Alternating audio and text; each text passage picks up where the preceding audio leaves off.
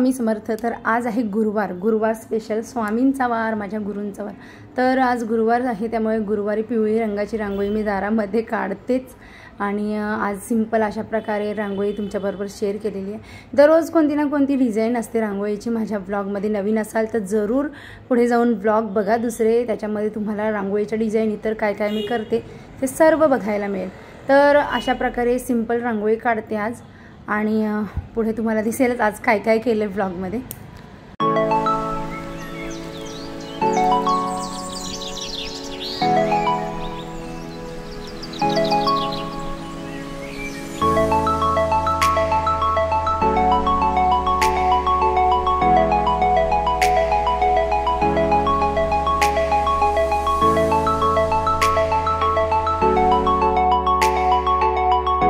तर आज गुरुवारची ही सिंपल पूजा आणि इथे माझे स्वामी. तर अशा प्रकारे आज सिंपल पूजा केलेली. श्री स्वामी समर्थ सर्वांना नमस्कार. Suvarna Mhatre blogs and recipes या आपल्या चॅनेलवर तुमचं अगदी मनापासून स्वागत आहे.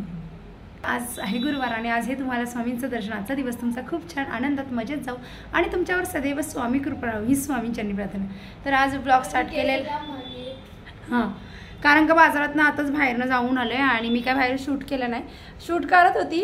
रिक्षामध्ये बसलेली यांचे प इजा पप्पाच्या बरोबर. तर पप्पा मसायला लागले हे लोक मला. मग मी शूटच केलं नाही.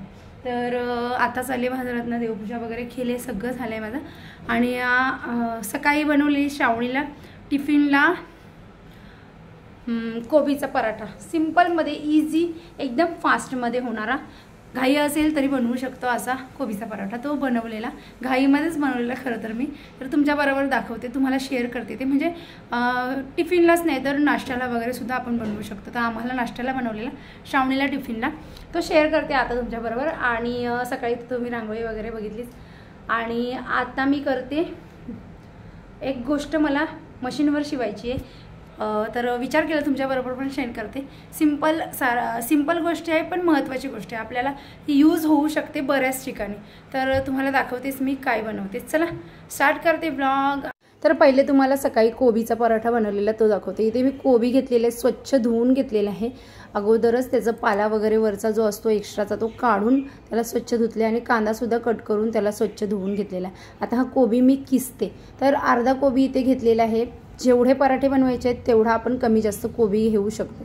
तर इथे कोबी मी कट करून घेतलेला आहे आणि त्याला आता मी बारीक किसून घेते. कट करून सुद्धा घेऊ शकता पण लाटताना थोडासा प्रॉब्लेम येतं कट केल्यावर.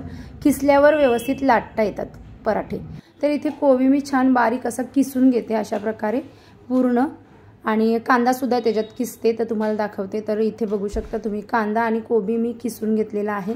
आता ना ह्याला मी थोडं मीठ घालणार आणि मीठ घालून त्याला छान चुरून घेणार. तर ही प्रोसेस जरूर करा जेणेकरून ना कोबीमध्ये कांद्यामध्ये पाणी असतो ना तो सुटतो मिठामुळे आणि आपल्याला पीठ मळताना पिठाला ना जास्त पाणी घालायची पण गरज लागत नाही आणि पी नंतर पिठाला पाणीसुद्धा सुटत नाही.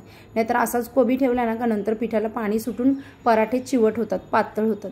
तर आता मी त्याच्यामध्ये घातलेलं आहे धने जिरे पावडर अर्धा चमचा आणि तिखट तुमच्या आवडीप्रमाणे.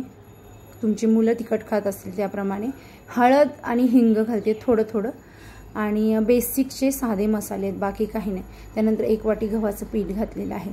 गव्हाचं पीठ आणि कोबी तुम्हाला किती पराठे बनवायचे आहेत त्याच्यावर तुम्ही घालू शकता. जर तुम्हाला जास्तीचे पराठे बनवायचे असेल तुम्ही जास्त घालू शकता. कमी पराठे बनवायचे असतील तर तुम्ही कमी वापरू शकता. इथे मी जेवढं पीठ आणि कोबी घेतलेलं त्याचं माझे दहा ते अकरा पराठे झालेले ते सुद्धा मोठ्या साईजमध्ये तर आता मी पीठ छान त्याच्यामध्ये मळून घेतलेले आहे आणि आता पाणी घालून पीठ मळते. तर पाणी जास्त घालायचं नाही थोडं थोडं घालून पाणी पीठ मळायचं आणि पीठ थोडंसं घट्ट ठेवायचं. आपल्या चपातीच्या पिठापेक्षा थोडंसं घट्ट ठेवायचं जेणेकरून ते थोड्या वेळात पुन्हा पातळ होत नाही. आणि पीठ मळल्या मळल्या हे पराठे लगेच लाटायला घ्यायचे. थोड्या वेळात लाटायला घेतले का थोडंसं पीठ चिवट होत जातं. मग आपल्याला लाटायला पीठ जास्त प्रमाणात लागतं. तर आता तुम्हाला घाईमध्ये मी मळून दाखवते. आणि त्यानंतर थोडंसं तेलाचा हात घ्यायचा आणि पीठ फायनल मळून घ्यायचं. आणि मग त्याचे आपण गोळे करून घेऊया. तर तुम्ही बघू शकता साधारण दहा ते अकरा गोळे ज्या पिठाचे मी मळून दाखवलं त्याचे झालेले आणि मोठ्या साईजमध्ये झालेले. तर तुम्हाला जर कमी पाहिजे असेल कमी बनवायचे असेल तुम्ही कोबीची क्वांटिटी कमी घ्या पिठाची क्वांटिटी कमी घ्या. एक वाटी कोबीचं किस असेल तर दोन वाटी पीठ लागतं. अशा प्रकारे हे मळून झालेले आहेत गोळे.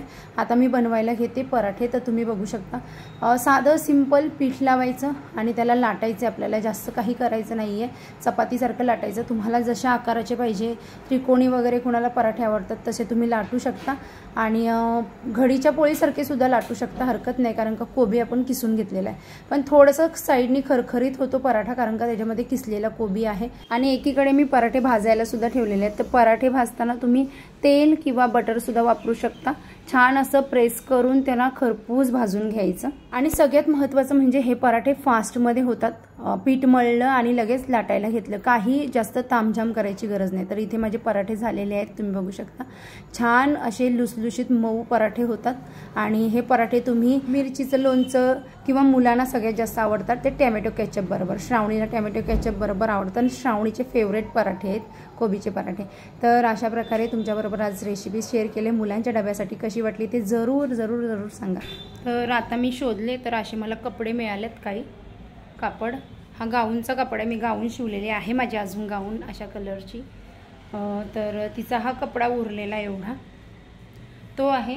आणि हा पण ड्रेस मी शिवलेला ना त्याचा कपडा हा कॉटन आहे. तर हा पण ह्याचं पण करते.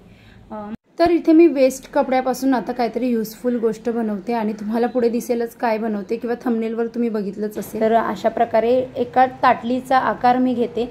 आपल्याला ज्या आकाराचं बनवायचं आहे त्याच्यापेक्षा थोडंसं दोन ते तीन इंच मोठंच कापड आपल्याला कापायचं आहे.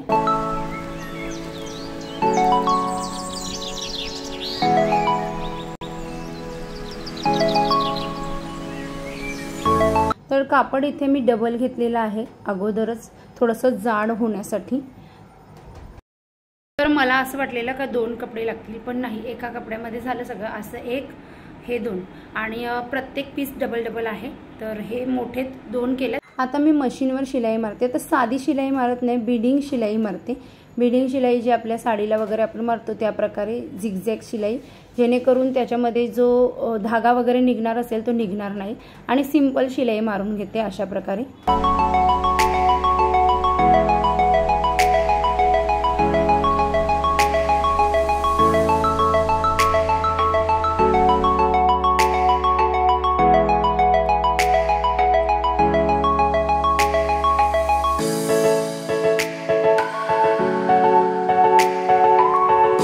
इथे मी शिलाई मारून घेतलेली आहे छान आणि धागा कट करून घेतले. अशा प्रकारे दोन्हीही कपड्यांना मी शिलाई मारून घेतलेली आहे व्यवस्थित येते आता लेस लावते. तर लेस आपल्याला अशा प्रकारे चपटे लेस लागणार आहे. आणि ती लेस आपल्याला जेव्हा आपण लावतो ना तेव्हा आपण सर्कल करून घ्यायचा एक जेणेकरून आपली लेस क्रॉस लागणार नाही. आणि लेस लावताना अशा प्रकारे खेचून लेस लावायची आहे. खेचून लेस लावल्याने अशा कपड्याला चुण्या चुण्या पडतात आणि त्याच्याने असा छान आकार येतो.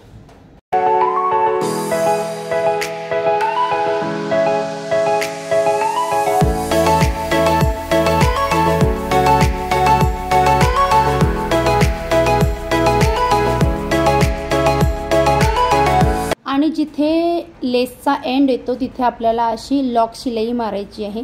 जेणेकरून लेस आपली तिथे फिक्स होईल आणि नंतर लेस आपल्याला कट करून घ्यायची. त्याचं कॅपसारखी एक टोपी तयार झालेली आहे. कॅप तयार झालेली आहे.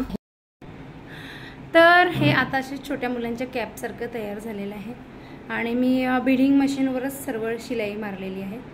धागा वगैरे काढून टाकते आणि दाखवते तुम्हाला. चला. तर मी ज्या गोष्टीसाठी हे बनवलेलं ती गोष्ट आहे हे. माझं जग आहे पाण्याचं त्याला इथे एक होल आहे हवा पास होण्यासाठी आणि इकडे तोंड आहे त्याचं पाणी येण्यासाठी. तर त्याला ना मला नेहमी भीती असायची का त्याच्यामध्ये काय मुंगी किंवा कुठला किडा वगैरे जाईल. तर खूप आनंद झाला मला त्याला व्यवस्थित असं जी कॅब बनवलेली ना मी ती बसली. त्यानंतर तुम्ही असं कोणत्याही टोपाला वगैरे सुद्धा लावू शकता. तर बघू शकता तुम्ही फिक्समध्ये असं मस्तपैकी पॅक बसतं. तुम्हाला पाहिजे त्या गोष्टीला तुम्ही हे असं कपड्याचं जिथे लावायचं असेल तिथे लावू शकता. आणि इथे तुम्ही बघू शकता. मी कळशीला सुद्धा लावलं आहे तर मला माठाला सुद्धा बनवायचं आहे आणि हंड्याला सुद्धा. कशी वाटली मी बनवलेली? आयडिया अजून एक दोन शिवते. आणि कसं वाटलं ते जरूर सांगा. आजचा व्हिडिओ जर तुम्हाला आवडला असेल तर लाईक शेअर चॅनलला सबस्क्राईब करा. सिम्पलचा होता आज पराठा तुमच्याबरोबर शेअर केला. त्यानंतर आज जे बनवले तुम्हाला कॅप कॅप जे आपल्या हांड्यावर किंवा काय बोलतात ग? हांडे. क कशावर सुद्धा जिथे आपल्याला झाकून ठेवायची गरज आहे तिथे तुम्ही ते यूज करू शकता. छान वाटतं मला क्युटी एकदम वाटलं कारण का खूप दिवसांपासून चाललेलं. ते जे मग आहे त्याला मला खूप दिवसांपासून कवर करायला काहीतरी बनवायचं होतं खूप दिवसांपासून चाललं हे सुद्धा बोलले मशीन आहे काहीतरी बनवू मशीन. कारण का त्याला आम्ही रुमाल गुंडळून ठेवायचो खूप दिवसांपासून. तर फायनली आज बनवलं. ॲडमिशन घेत नाही मी. आणि वाजले आता साडेनऊ. घड्यालात बघू शकता उलटं दिसते साडेनऊ वाजले आणि अजून जेवलो नाही कारण का हे अजून आले नाही तर मी विचार केला व्हिडिओ कंप्लीट करते तुमच्याबरोबर शेअर करते आणि मग व्हिडिओ एंड करते. आणि जेवतो. तर सिंपल. भाजी आहे फ्लॉवरची डाळ भात आहे. आता संध्याकाळी काय बनवलं नाही मी. आणि हेच जेवण आहे. तर जेवतो आम्ही. आता बाहेर गेलेलो श्रावणीने वडापाव खाल्ला. मला थोडासा एक घास दिलेला मी सुद्धा खाल्ला. तर मी मी नाही खाल्ला मला नव्हतं खायचं. एकदम संध्याकाळी काय खाल्लं ना का कसं तरी होतं. त्यामुळे मी काय खात नाही जा सहसा खात नाही. आणि त्यामुळे श्रावणी खा श्रावणीला घेऊन दिलं मी. आणि तिच्यामधनं एक घास मी खाल्लेला एवढंच खाल्लं आणि आता साडेनऊ वाजले. दुपारी जेवलं आहे त्याच्यानंतर. पण वाट बघतो ह्यांची. हे बोले तुम्ही जेवून घ्या. मला उशीर होणार आहे. पण तरीसुद्धा बघतो वाट. कारण का येतील ते. साडेनऊपर्यंत येणार बोलले. आणि पुढचं बनवलं आता तुम्हाला कसं बनवायचं ते दाखवलेलंच आहे. तुम्हाला सुद्धा बनवायचं असेल जरूर बनवा. आणि जर आवडलं तर मला प्लीज कमेंटमध्ये सांगा लाईक करा. लाईक करून तरी सांगा का कसं वाटली माझी ही आयडिया. तर चला भेटते नेक्स्ट ब्लॉगमध्ये. आता बाय बाय करते तुम्हाला. बाय. श्रावणी बाय करते का? बाय.